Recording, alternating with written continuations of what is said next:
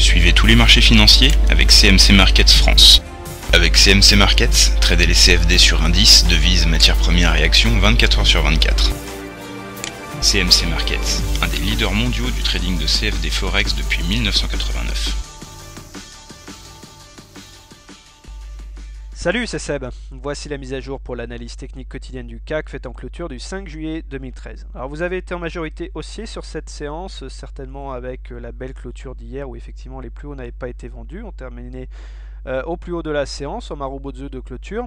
Je vous avais dit que pour ma part, certes, cette séance était euh, encourageante, mais que les résistances ne tarderaient pas à se rappeler à notre bon souvenir, ainsi que les divergences baissières cachées. Et j'avais notamment indiqué comme résistance eh ce retracement Fibonacci des 50%. Regardez, on est venu le tester, même le dépasser pour finalement euh, eh bien terminer en dessous. Ça nous a permis d'ailleurs de combler le gap ici de cotation qui également a fait euh, résistance. Et puis j'avais souligné également qu'il y aurait d'autres résistances à venir, notamment si on passe au point de vue de l'hebdomadaire, eh bien la moyenne mobile à cette séance hebdo, regardez, elle est décroissante. J'avais dit qu'elle avait déjà joué son rôle de résistance le 17 juin et qu'il y avait fort à parier que ça se reproduise sur cette euh, dernière séance hebdomadaire. Et effectivement, eh bien, euh, nous sommes venus dépasser la M7, mais finalement nous terminons en dessous de toutes les résistances au point de vue de l'hebdo qui ont parfaitement joué leur rôle.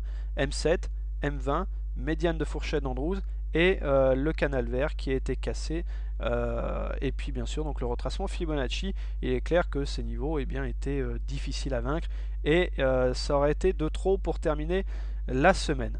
Donc euh, malheureusement, séance prévisible dans la mesure où on a bien retracé 50%, même plus du, chandelier précédent, et d'une tendance neutre, où hier on cassait la tendance baissière, bien regardez, on retourne en tendance baissière, illico presto, puisque nous terminons sous une moyenne mobile à 20 séances baissières et également conformément à l'analyse technique, ce qui devait jouer euh, son rôle de support l'a fait, c'est-à-dire la moyenne mobile à 7 séances croissantes puisqu'on termine pour que le suspense soit entier pour lundi, et eh bien nous terminons au contact de cette moyenne mobile à 7 séances. Alors la bougie du jour n'est pas neutre, hein, il s'agit euh, d'une couverture en nuage noir encore.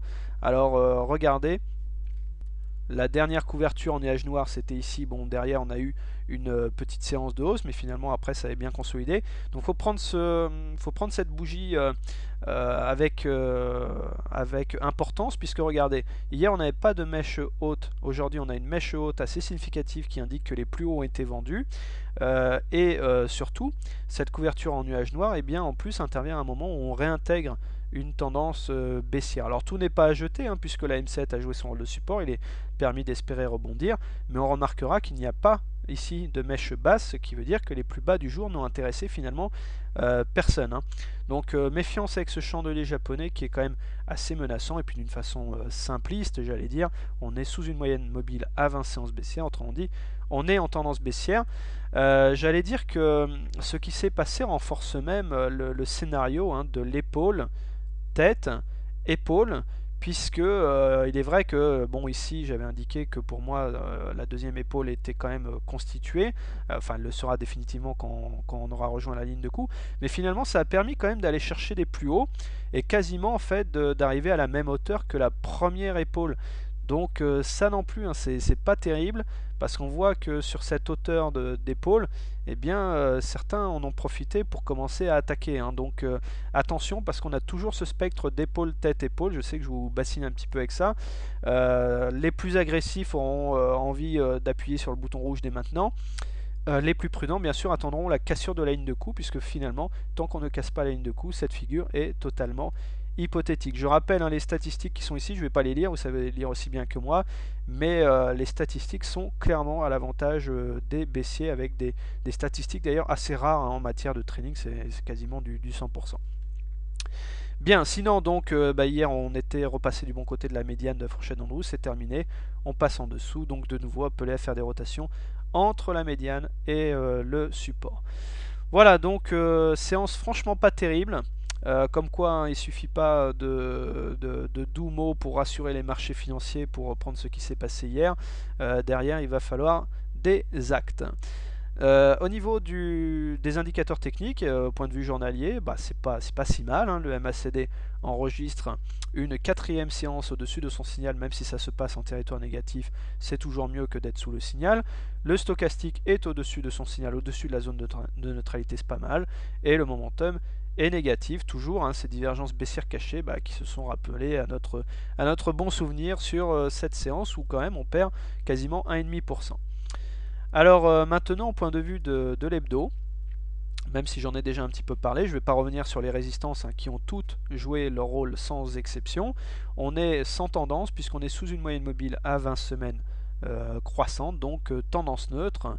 Et puis également, si on regarde les indicateurs techniques, alors oui j'ai oublié de signaler, on a ici une bougie, un chandelier en porteur d'eau, c'est-à-dire hein, des mèches hautes et basses équivalente qui montre en fait bah, l'indécision du marché. Hein. On a bataillé à la hausse, à la baisse pour finalement terminer quasiment euh, étal. Donc figure d'indécision sur cette semaine.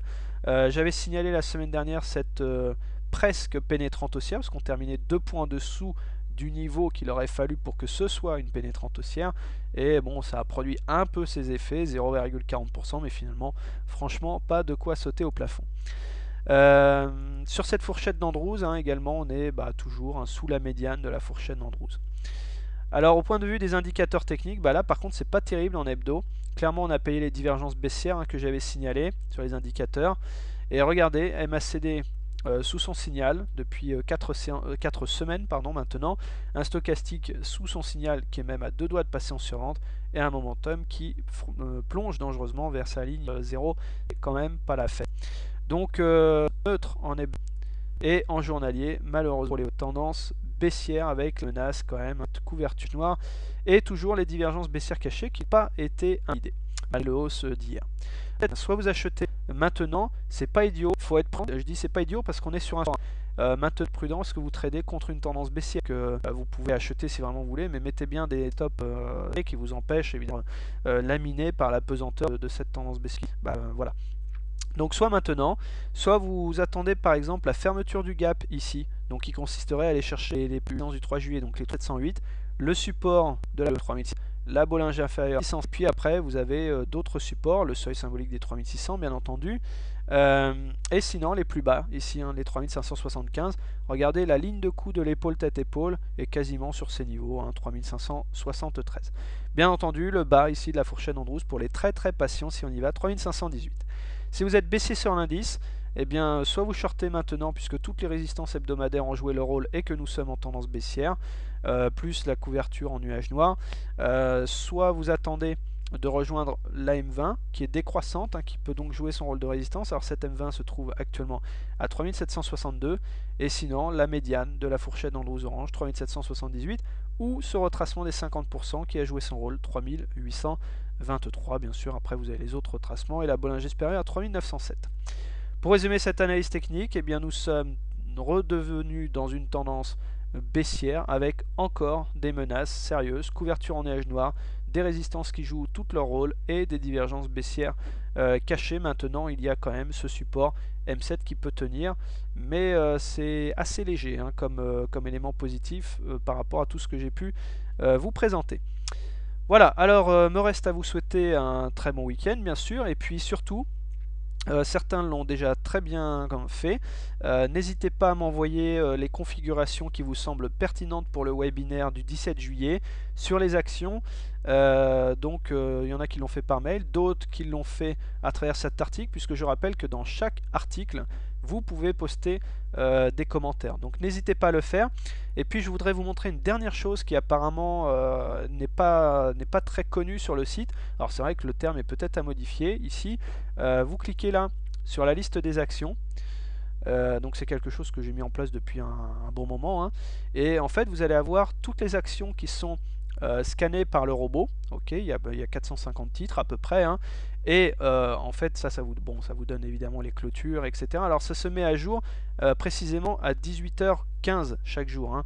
Donc euh, c'est automatique. Et si vous voulez en savoir plus, par exemple sur une action, on va prendre, je sais pas moi, Air France KLM. Ok, vous cliquez dessus. Et en fait, ça vous donne une mini-analyse technique de chaque action. Alors, analyse vidéo, ça c'est réservé aux abonnés, ou si vous voulez en commander une, vous pouvez. Hein. Mais sinon, vous cliquez ici là sur analyse technique, et vous avez une mini analyse de, des moyennes mobiles, des indicateurs techniques, du MACD, du stochastique, du momentum, etc. Donc, euh, bon, alors évidemment, ça, vaut ce que ça vaut. Hein, euh, c'est une analyse automatique, autrement dit, on analyse les croisements de signaux, etc. Mais bon, ça peut aider. Euh, ça peut aider. Donc, en tout cas, c'est mis en place pour vous. N'hésitez pas. Et puis, bah, en plus, c'est gratuit. Donc, pourquoi s'en priver? Voilà, je vous souhaite un bon week-end et je vous retrouve lundi pour les abonnés premium. Une, voire deux analyses techniques d'action à suivre dans le cours du week-end. Surveillez vos mails. Merci et bon week-end